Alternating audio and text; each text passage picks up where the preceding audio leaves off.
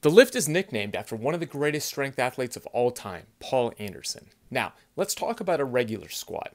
You have a quick descent and then a fast turnaround. During that descent, you're going to store energy in your muscles and tendons, which are then released with a quick turnaround called the stretch shortening cycle.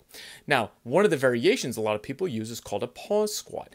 This takes away that stretch shortening cycle, really forces you to control your positioning and improve your absolute strength.